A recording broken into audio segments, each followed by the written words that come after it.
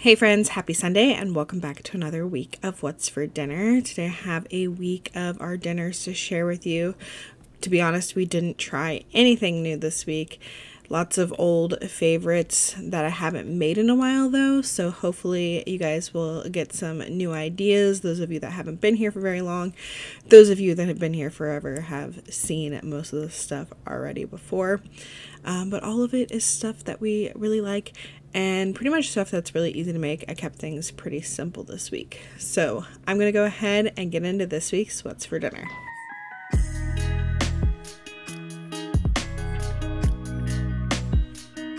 Starting off on Friday night, we had Mississippi pot roast. If you've been here for like any amount of time, you know that we love Mississippi pot roast. It's something we make pretty regularly, especially during like the fall and winter. It's one of our go-to crock pot meals. So I'm not going to walk you through all the steps, but everything will be listed out down below. I love to do it with potatoes and carrots. I know not everybody adds vegetables, but we love the vegetables in it. And then I also like to serve it with some white rice and a video on how I do that will be linked down below as well. Saturday night, we had a one pot lasagna, like hamburger helper style meal. This is one of those like homemade hamburger helper recipes that I just kind of made up. So I'm starting off here with one pound of ground beef. You can season it however you like. I like to do garlic powder, onion salt, some red pepper flakes, pepper, and Italian seasoning and just cook that up until it's fully browned. And then if you have a lot of excess grease, go ahead and drain that. Then I'm going to add in two teaspoons of the Knorr beef bouillon powder and two cups of water, or you could just do beef broth if you prefer. And then a 24 ounce jar of marinara sauce. I'm going to add a little bit of water to that jar to make sure I get it all out and give that a good stir and then you're going to want to add in eight ounces of pasta. So if you really want it to be like hamburger helper you'd want to buy mafalda pasta which can be really hard to find. So if you can't find that just any kind of pasta will really do in this. Or you could do what I did which is break up some lasagna noodles into little pieces and do about eight ounces. I had like some of a box left from when I had made lasagna previously, so I just added that in there. And then you want to bring this to a boil. Once it comes to a boil, you want to reduce the heat to like a medium low and cover and let this simmer for about 15 minutes or until your pasta is done. Because I was using those like bigger pieces of broken up lasagna, I did go through and like stir this a couple times in the middle just to make sure that they weren't sticking together together and then I just continued cooking it until they were tender and most of that liquid was absorbed. Then you can stir in three quarters of a cup of blended up cottage cheese, or you could do ricotta if you prefer ricotta, and then also one to two cups of mozzarella cheese. I really prefer the cottage cheese. I don't know why, but I just take an immersion blender to it and it gets like almost the same consistency as ricotta, not quite as thick, a little bit more creamy, and we really like it and makes it taste really good. That's what I use in my lasagna all the time anyways, so it makes it more like my lasagna. And just give everything a good stir and then this is ready to serve and I did this with some salad on the side. Of course, Lily is no lettuce, so she's got her fresh veggies on the side. This is probably the third or fourth time I've made the, this recipe, and we love it. Sunday was St. Patrick's Day, and our tradition for the past couple of years is for me to make a shepherd's pie. So I'm starting off by making my mashed potatoes. I didn't have any leftovers in the freezer, which is what I would usually use for this, but I needed to make some, so I make them in the Instant Pot. I've just got about a cup of water in the bottom of the Instant Pot, then the little trivet, and then I did like six pretty good sized potatoes peeled and cut into quarters and then sprinkle them with some salt Put the lid on the Instant Pot, set it to manual high pressure for 12 minutes. After the 12 minutes, I did a quick release and let all that steam out. And then you can just go in and remove the little trivet and start mashing up the potatoes. No need to drain it. It makes the creamiest mashed potatoes. So mash them all up and then I add in some butter and some milk and some salt and some pepper until I get it kind of tasting how I want and to the right consistency. And this is what I do anytime I make mashed potatoes. Sometimes I'll add like garlic or garlic butter, sometimes sour cream, um, but this is pretty much the base and then I can go from here. And the only other things that I do different to make it for shepherd's pie is I add in some parsley and I add in some Parmesan cheese. Now, moving on to my meat, I've got one pound of ground lamb here and I'm seasoning it up with a little bit of salt, pepper, garlic powder, and onion salt. And I'm just gonna cook that up until it is fully browned. If you don't like ground lamb or you're unsure, you can do this with ground beef. Technically, it's not a shepherd's pie then, it's a cottage pie. Then, once the meat is fully cooked, I'm going to add in some minced garlic. You could do fresh minced garlic, but I had these little frozen cubes, so I just added that in there and continued to cook for about another minute. Then I'm going to add in one cup of beef broth, or you could do water and Knorr beef bouillon like I did half a teaspoon of red pepper flakes, two tablespoons of Worcestershire sauce, one package of Lipton onion soup mix, and give that all a good stir. And then you could do frozen veggies like the original recipe says, or I like canned veggies. So I usually either do mixed veggies or this time I just did a can of drained peas and carrots. Then I turned that off and let it sit for a few minutes while I finished up my potatoes. And then this time I sprinkled it with some cheddar cheese because my family likes it really cheesy. So I did some cheese and then I just put my mashed potatoes on top. I will say I made too many mashed potatoes. I even had some left over that I didn't even put in this, but I definitely put too many mashed potatoes on here. It was a little much. But I got my mashed potatoes on there and then I took a fork and like made kind of like ridges in there so it gets nice and crispy on top. And then I put this in the oven on 350 for 40 minutes. Then I let it sit for 5 to 10 minutes to kind of cool and set up and then we just serve it up and it's everything you need for a meal in one dish and it is delicious. Monday night we had this sheet pan balsamic chicken and veggies. I have made this before.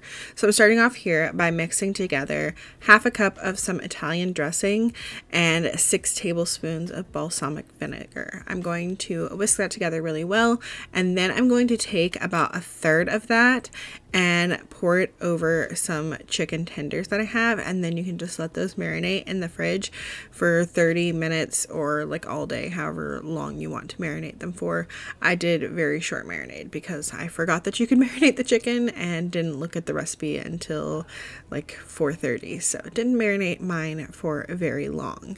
But while my chicken was marinating then I got my veggies on my sheet pan. I did a foil lined sheet pan just because it makes cleanup easier and I'm adding on some red onion, which was new for us. Usually I just do the broccoli that the recipe calls for, baby carrots cut in half, and some grape tomatoes. But this time I had red onion from some recipes last week, so I added that on as well. And then I drizzled it with some olive oil and seasoned everything with some salt and pepper, garlic powder, and Italian seasoning. And then I put the veggies in the oven for 10 minutes on 400 degrees. After the 10 minutes, then I went and tossed the veggies and moved them over to one side of the pan because we're going to add on our chicken. Just add the chicken to one side and then that remaining like marinade that we made, I'm going to drizzle over or spread onto the chicken. If you plan to use some of this for dipping, you want to set that aside because you don't want to be like brushing chicken juices into like all of the stuff if you plan on eating some. So if you plan on saving some for the end, like the recipe calls, make sure you don't mix that with the chicken because that would be gross. So I don't do that because I have balsamic glaze, but just thinking ahead if you do plan to do that. I pretty much use all of it on the chicken now. I had a little bit left over that didn't seem like it needed, so that kind of went to waste. I probably made a little bit too much. But then you just put this back in the oven and cook it for another 15 to 20 minutes until your chicken is done and your veggies are tender. Typically, I'll serve this over rice or like some couscous or something. Didn't feel like that this time. So we just had our chicken and veggies with some garlic bread. And I'm the only one who likes the balsamic glaze. So I drizzled mine with some of that balsamic glaze. I just picked it up at Aldi, I think, last year. And it's delicious. Tuesday night, I made some barbecue pulled pork in the crock pot. So I've got this really big pork butt here in my crock pot. It's a bone in pork butt and it's got a big like fat cap on one side. So first I'm seasoning the side without the fat cap with some barbecue seasoning from Trader Joe's, salt, pepper, garlic powder, and paprika. And then I'm going to turn it over and have the fat cap up so it can cook that way. And I'm going to season it the same way on that side. And then I'm going to put about a half a cup of apple cider vinegar in the bottom of the crock pot and then drizzle on whatever barbecue sauce you like on the top of this. I think the one I have is like Williamson Brothers or something, like a Carolina Gold barbecue sauce. I think that's what it is. Uh, so I put that all over the top, put a lid on this, and let it cook on high because I didn't get this started until like 11 a.m. So I needed to do it on high, but I let it cook until like 7 p.m. on high and everything got nice and tender. So I'm going in and I'm removing any bits of fat first because like nobody wants a big chunk of fat in their barbecue pulled pork sandwich. So remove those big pieces of fat. And then there was a lot of liquid in this. So I took a ladle and spooned off a lot of it, but kind of kept it to the side in case I did need to add it back later, but there was so much I didn't. So just get rid of that. And then I also had a bone in here, so I removed that. And then my camera cut out just as I started to shred it up. But then I shredded this up, and you'll see like I didn't have to remove all of the liquid, but once you shred it up, it starts to like kind of soak that up, and it makes it so juicy and delicious. And then you can add more barbecue sauce to your sandwiches. That's what I typically do, kind of leave it plain in the crock pot and then add more barbecue sauce on your sandwich. So the kids have some sandwiches here. Andy and I weren't ready to eat at the at the time that it was ready and the kids are ready to eat. So they have some American cheese on their sandwich and then some fresh veggies on the side and then some Cheetos mac and cheese. And Andy and I's plates looked pretty similar. I don't do cheese on my pulled pork sandwiches though, just some extra barbecue sauce, then some mac and cheese and some fresh veggies. Wednesday night we had this crispy bayou style tilapia and like roasted potatoes and then a salad on the side. This recipe originally came from HelloFresh. I never actually got it in a box, but I found the recipe on their website if you didn't know. That's one of the places that I like to look for recipes sometimes. I used to do it all the time, but this is one that I've made over and over again. We love. I will try to find a video of me making it and link it down below, but if I cannot at least find that, I will link the HelloFresh recipe. It's delicious, and I wanted to show it to you step by step this week, but it was either don't film me cooking or don't make dinner at all because I was just like so tired and it had been a long day and just homeschool and everything was kicking my butt this day. So I just got the clips of the finished product for you this week. And finally, for the last meal of our week, we had orange chicken and fried rice. This is just the Trader Joe's orange chicken. I make a bag and a half and I cook the chicken in the air fryer and then I make my own fried rice. I knew this day was going to be a very long day, so I knew I wanted something easy. We had a homeschool field trip in the morning and then we went straight from there. We got some lunch and went to our friend's house for our like weekly play date and yeah it was a long day. Didn't get home until 5:30 so this was something quick and easy that I could throw together and know that everybody would be happy with it. But that is going to be it for this week's what's for dinner. I hope that y'all enjoyed it. I hope that y'all got some new meal ideas. If you did let me know what you plan on trying in the comments down below. And if you made it here all the way to the end make sure you leave me a smiley face in the comments as well. I hope y'all have a great rest of your weekend and a great upcoming week and I will see y'all on the next one. Bye